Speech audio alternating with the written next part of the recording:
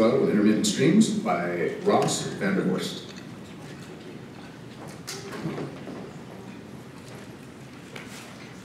Can everybody hear me okay?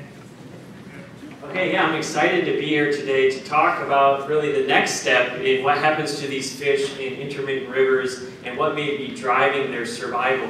So not, uh, Pablo talked about non-lethal effects. I'm here to talk about some of the lethal effects. And I've been focusing my work on the endangered coho salmon, uh, specifically in the Russian River in Northern California, in that area right around Santa Rosa.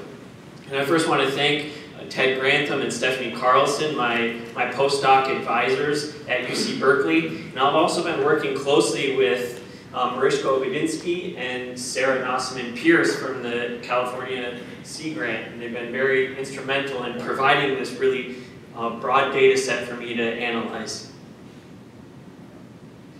So we here are really no strangers to the, the fact that freshwater biodiversity is in decline. And this is occurring globally where 37% of our freshwater species are extinct or, or threatened.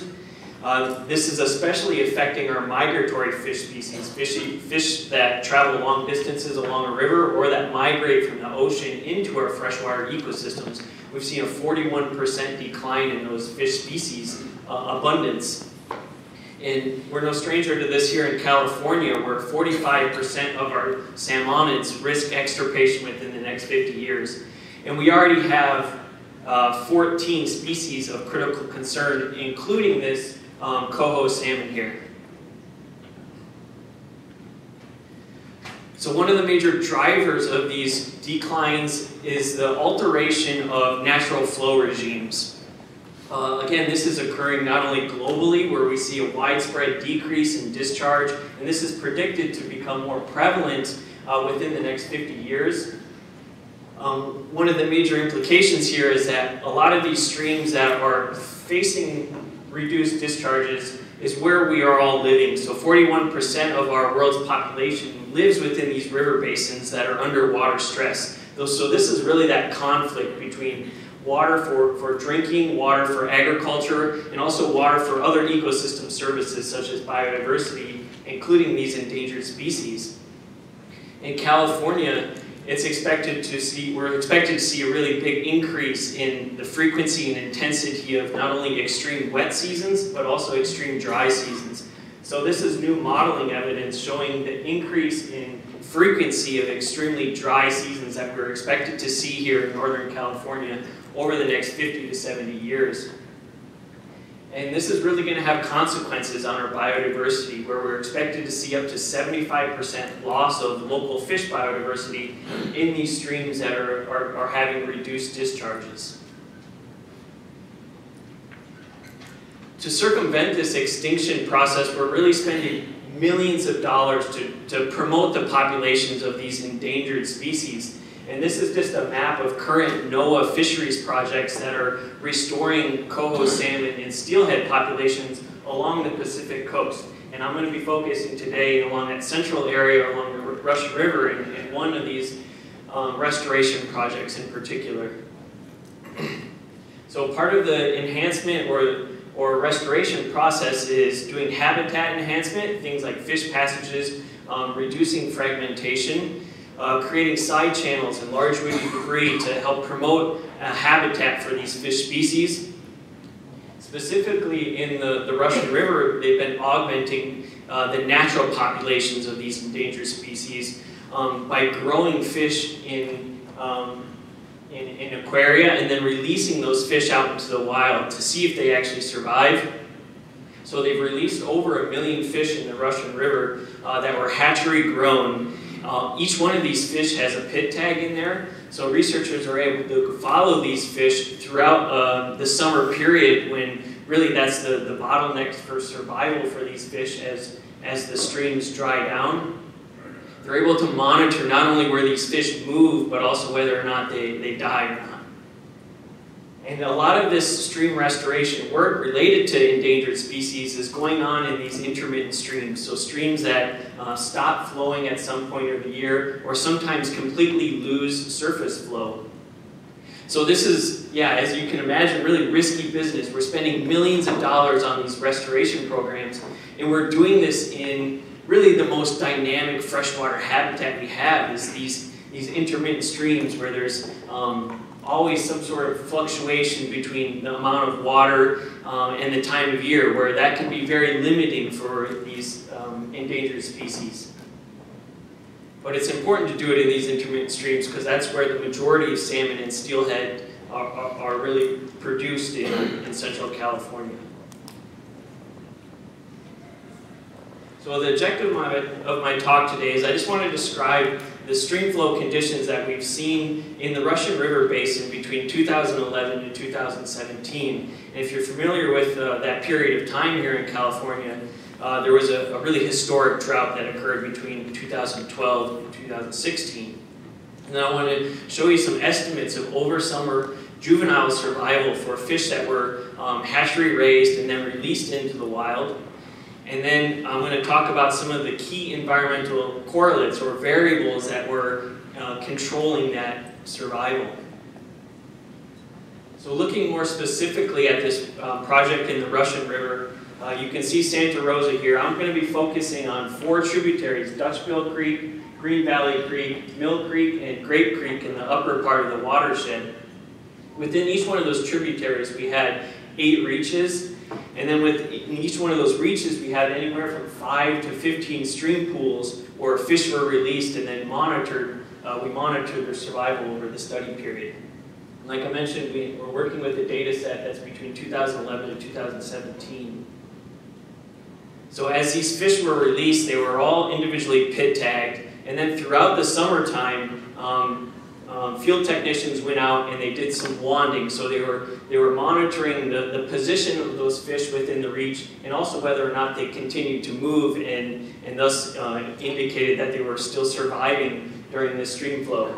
So we used the program MARK to come up with survival estimates. This was a mark recapture technique and that also take into account the, the potential for fish to move from one pool where they were released to a different pool um, so we have survival estimates throughout that summer period starting in, in June until October for uh, those different stream reaches and all those individual pools.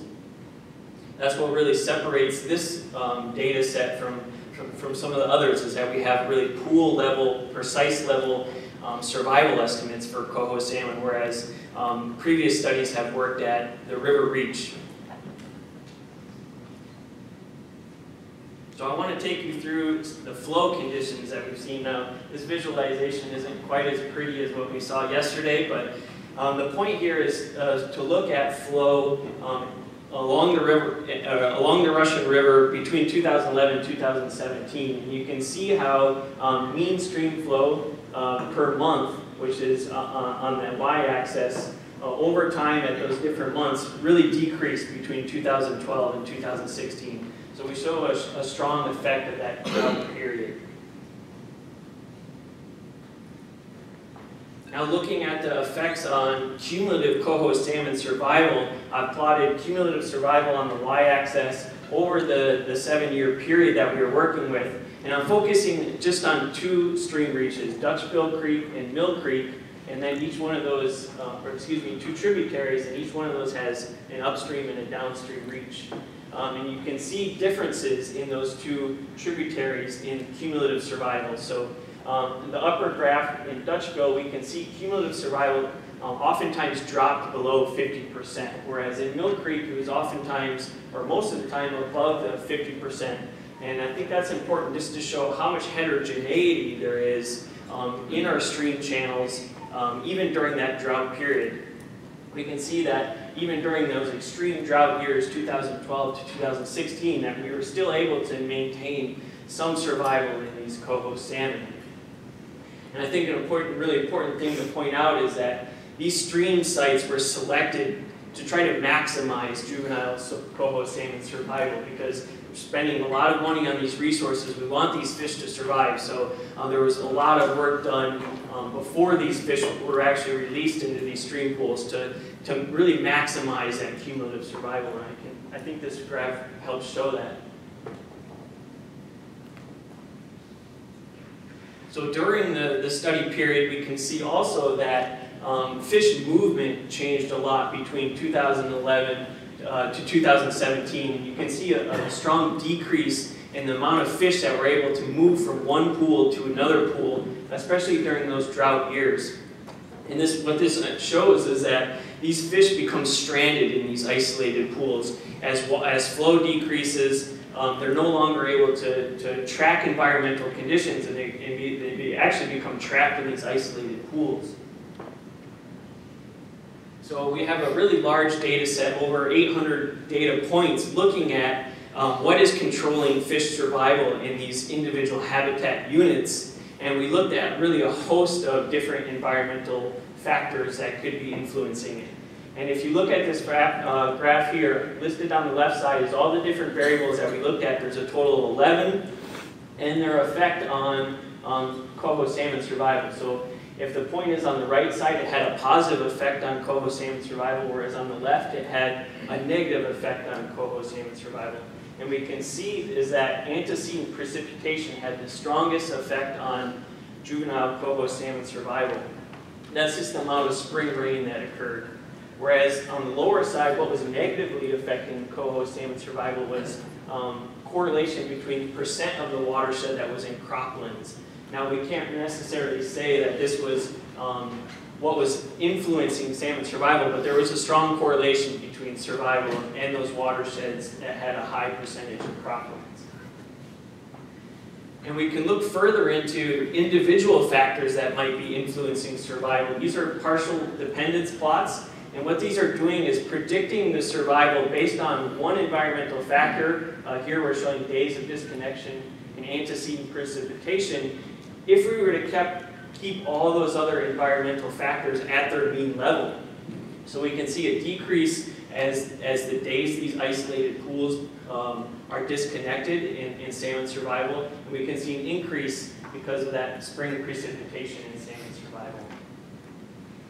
And just looking at a couple more, we have percent croplands had a strong decrease in survival, and also coho density. So my title actually, I think in the the abstract was, was abiotic factors, and we did look at one factor and found that coho density, or the number of coho within those individual pools, um, negatively influenced salmon survival. So teasing apart these different factors that are influencing survival has um, some important management implications. For example, we found that pool depth and, water temperature can influence salmon survival. So this points to the fact that we should use habitat restoration um, um, measures that can that can influence that. So something like large woody debris can help create deeper pools and, and cooler water. So this was really directing management actions based on that large data set I was working with. Another thing that we've been able to do in the Russian River um, is do emergency flow releases to try to maintain pool volume um, in adequate dissolved oxygen conditions because we know those are limiting factors for survival. And also, this might help um, identify when to uh, go out and actually move physically these salmon from stream pools that are beginning to dry to more uh, to stream pools that have better conditions. And I think uh, identifying thresholds using this data set that really to tell managers when to um, do these actions will be important. So I'm still working with this large data set. We need to do some more model validation. We, we, I want to bring in more biological correlates, so things like um, um, the density of other fish species, potentially predators for these coho salmon that could be influencing survival. And also want to look at what's happening downstream. So when do these salmon uh, actually outmigrate and, and whether or not they, they do outmigrate. That's the next kind of step in understanding the, the whole survival process of these hatchery raised salmon. Thank you.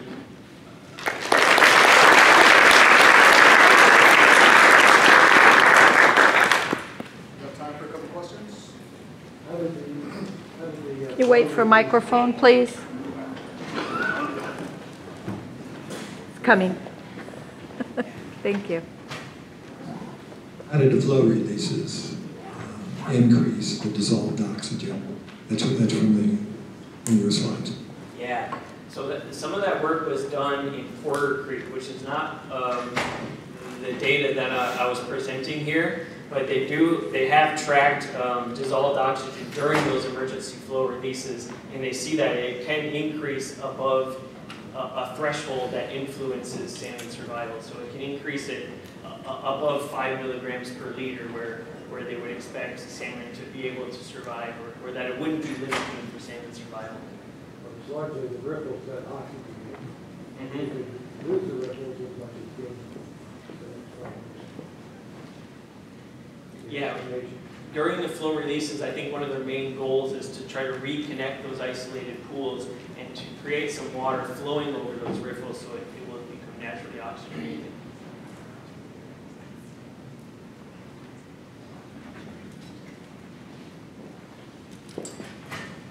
So looking at about this stream intermittency and then the connection between or among the pools, there's a surface water flow and then also there might be some connectivity through the hydraulic or uh, sur- surface flows. Have, have you guys ever looked at that factor and then how that might affect the survival of juvenile salmon or any other fish? Yeah, so there has been some work looking at the potential influx of groundwater into these stream pools. Um, one of the things that we did look at in this data set was just the composition of the stream bed, whether it was alluvial or bedrock, because that would indicate if it's alluvial, potentially there's a, connection to the groundwater, and that was an important factor in controlling salmon survival. But I think that's something that we need to look further into is is those groundwater inputs and their potential to not only maintain water in those isolated pools, but also um, maintain stream temperature um, at, at a cooler at a cooler temperature for these salmon. Thanks.